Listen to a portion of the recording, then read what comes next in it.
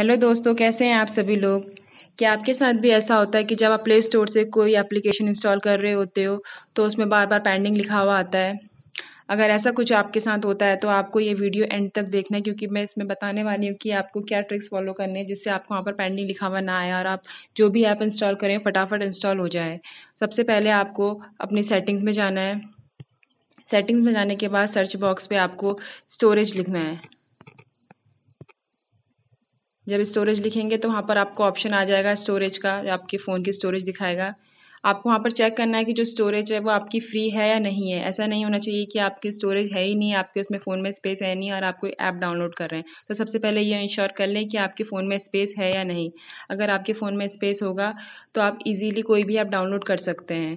और अगर स्पेस नहीं है तो आपको अपने फ़ोन में, पहले अपनी मेमोरी को यू नो खाली करना है फ्री करना है, उसके बाद आप कोई ऐप डाउनलोड कर सकते हैं।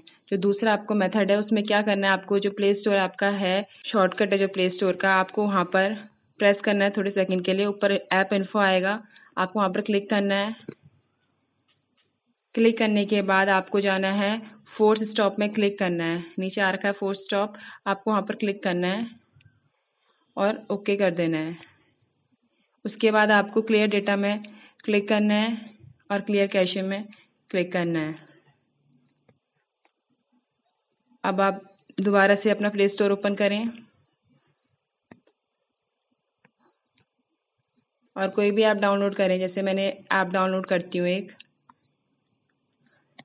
मैं इसमें इंस्टॉल करती हूँ। देखिए दोबारा चलने लगेगा। डाउनलोड होने लग गया है। आई होप फ्रेंड्स आपको ये वीडियो पसंद आया होगा। अगर आपको वीडियो अच्छा लगा हो तो मेरे चैनल को सब्सक्राइब ज़रूर करें और वीडियो को लाइक ज़रूर करें। Thank you so much.